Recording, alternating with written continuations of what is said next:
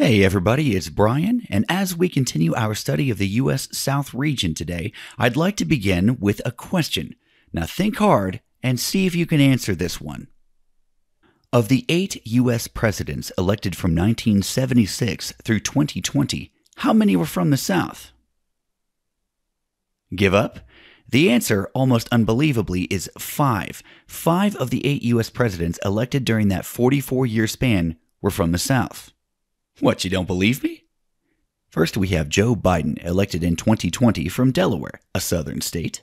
Before that, you have George W. Bush of Texas, elected in 2000. Then Bill Clinton of Arkansas, elected in 1992, George H.W. Bush, also from Texas, in 1988, and Georgia's Jimmy Carter, the 1976 presidential election winner. So, why begin today's lesson with that tidbit about presidential elections? Well, it reminds us of the power the South has in modern politics. What's even more interesting is that those five presidents have come from both parties Biden, Clinton, and Carter from the Democrats, and both Bushes from the Republican Party, a fact that exemplifies the division found often in the South. Now, don't go away. Things are about to get heated up as we dive into the cultural convergence past, present, and future of the South.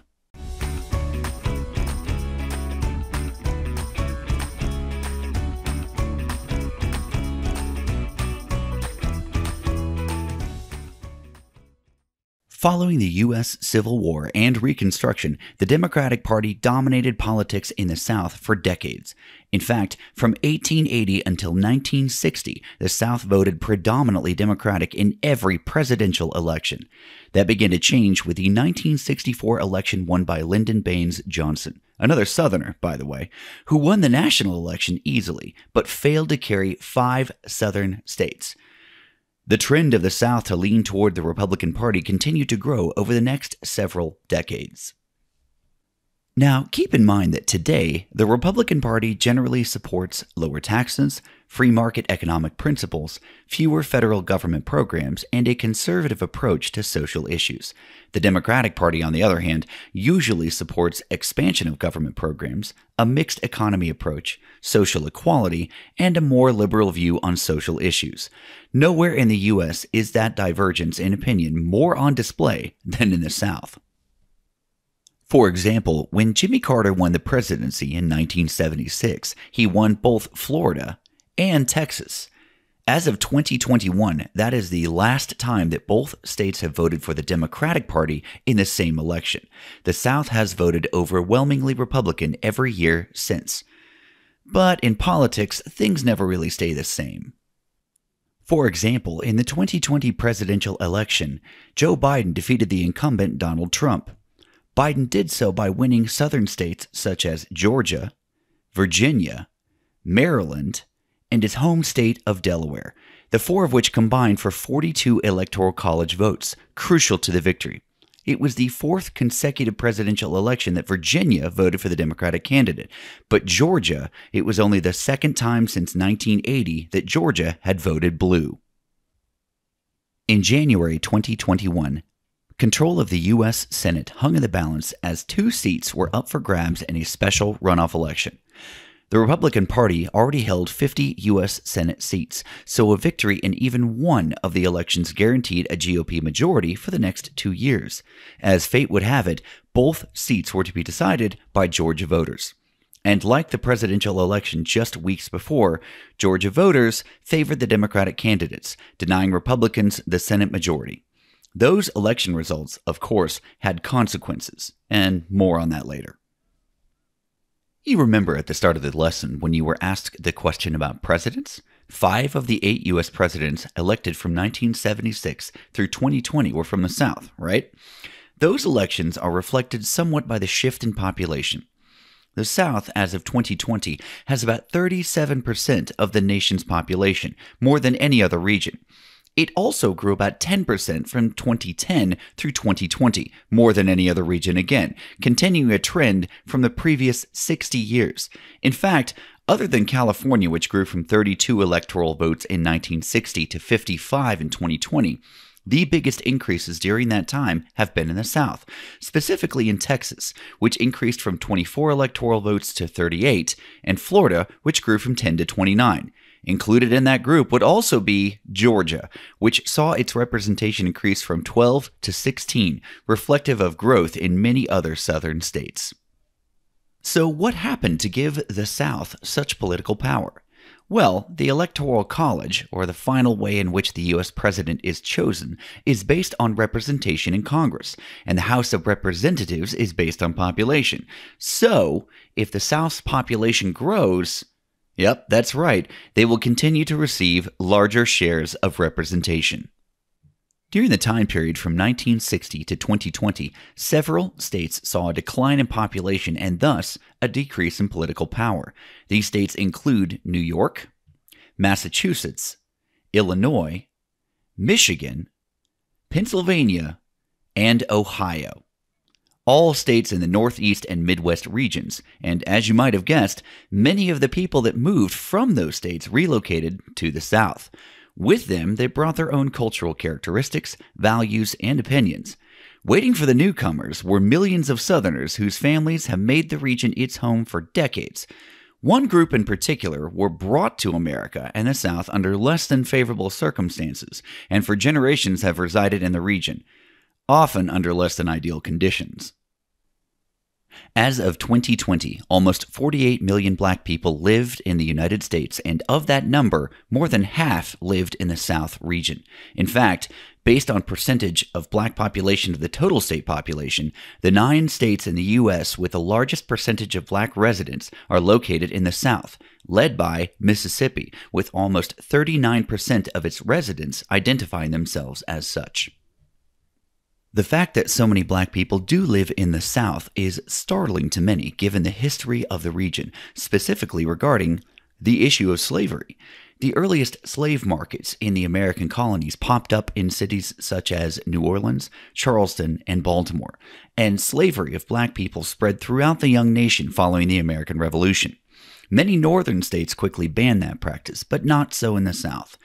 Many Southerners at the time felt slavery was so essential to their political survival that talk of seceding from the U.S. actually started in 1832 as South Carolina threatened to leave the Union over federal tariffs and what it saw as a hostile central government willing to infringe upon what the state considered to be its own business and within its rights.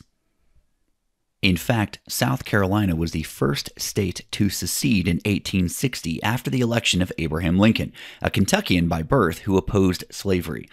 By February 1861, Florida, Georgia, Alabama, Mississippi, Louisiana, and Texas had joined South Carolina. The first shots of the Civil War were fired at Fort Sumter shortly thereafter, and by June 8th, Virginia, North Carolina, Arkansas, and Tennessee had joined the Confederacy as well. Of course, we all know that the South lost the Civil War. The Confederacy ended in 1865, and Southern states were welcomed back, reluctantly by many, to the U.S. Slavery was ended later that year by the ratification of the 13th Amendment. Section 1 reads Neither slavery nor involuntary servitude, except as a punishment for crime whereof the party shall have been duly convicted, shall exist within the United States or any place subject to their jurisdiction. However, even with that, the struggle for freedom and equality for black people was just getting started. Most black people freed by the 13th Amendment had nowhere else to go and stayed on their previous owner's land, working as laborers and sharecroppers under conditions not much better than bondage. The late 1800s and early 1900s saw Jim Crow laws passed by state and local governments in the South to maintain segregation and force second class citizenship on black people. The U.S. Supreme Court actually upheld such treatment in an 1896 ruling, Plessy versus Ferguson, upholding the theory of separate but equal, and such practices were maintained for decades. Then, in the mid 20th century, things began to change. In 1947, Jackie Robinson, born in Georgia, became the first black man to play in a major professional sports league by suiting up for the Brooklyn Dodgers. The color barrier in sports had been broken. Just a few years later, in 1955, Rosa Parks refused to give up her seat on a bus in Montgomery, Alabama, a protest moment which served to help light the spark of civil rights in the United States. In 1957, Little Rock High School in Arkansas became the first integrated public school that had previously only been open to white students. Sit ins and peaceful protests at various restaurants and businesses began occurring in 1960. And in 1963, Dr. Martin Luther King Jr. delivered his famous I Have a Dream speech during the March on Washington. Two years later, Dr. King led his march protesting for civil rights for minorities from Selma to Montgomery, Alabama. Civil rights legislation was passed incrementally beginning in 1957 and throughout the 1960s. While progress is undeniable across America, controversy regarding race is still ongoing, especially in the South. For example, a statue of Confederate General Robert E. Lee in Charlottesville, Virginia, was taken down in July 2021 after protests and calls for its removal. While many other such monuments exist, predominantly in the South, the fact that the monument was taken down in Lee's home state of Virginia was a major victory for those fighting for it and considered an unnecessary erasure of the historical record for others. Another such place that has drawn similar criticism is Stone Mountain, Georgia. Located just east of Atlanta, Stone Mountain is a state owned park based around a quartz monadnock, or isolated hill of rock.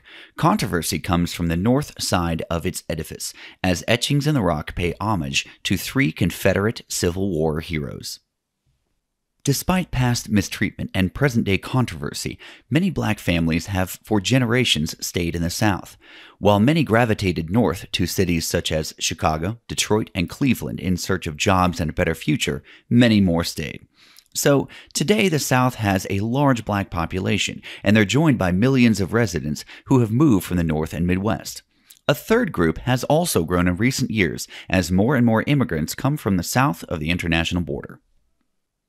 Many of those people emigrating from Latin America came to work agricultural jobs, and most were meant to be temporary, but many have stayed. In particular, states such as Texas have boomed from a huge increase in the Hispanic Latino population from Mexico and Latin America. Texas, which was once part of Mexico and was briefly its own nation, as of 2020 is the second largest state with a population of some 29 million, with about 40% of that number claiming Hispanic and Latino status. The vast majority of that almost 12 million have Mexican roots, coming from south of the border or being a descendant of a Mexican immigrant. Like Texas, Florida's population continues to grow steadily as well, as newcomers from Mexico and other Hispanic nations have relocated to the Sunshine State. But no cultural diffusion there has been stronger than the Cuban influence. The third most populated state behind only California and Texas, according to the 2020 census, Florida has about 22 million residents, of which about 1.5 million are of Cuban descent. Many of those Cuban Americans live in the Miami metropolitan area, with many others in the Tampa area. Their influence continues to grow, culturally and economically. Of course, immigrants from elsewhere have always been a part of the South's history. For example, New Orleans and much of Louisiana is populated with descendants from France. But most of the South is made up of folks whose heritage comes from the British Isles, specifically England, Scotland, and Ireland. Keep in mind, though, that most of that immigration occurred decades, or more likely, centuries ago, and the South is now home to millions of Anglo descent.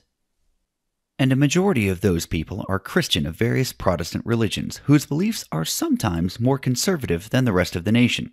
For example, those beliefs manifest around several moral debates, such as those regarding alcoholic beverages.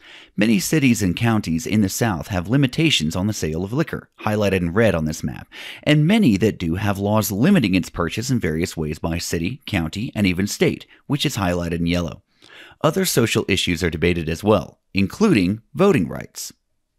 Laws regarding voting rights are being considered all over the U.S. and in almost every state in 2021, but the region in which these actions are most prevalent is the South. In Texas alone, 49 bills regarding the issue were introduced in 2021. In Georgia, 24 such bills were introduced in 2021. Remember how earlier in the lesson we mentioned that Georgia was won by President Biden in the 2020 election, and that in a runoff election in January 2021, not one but two U.S. Senate seats were won by Democrats as well. The result has kept Georgia in the crosshairs of political news.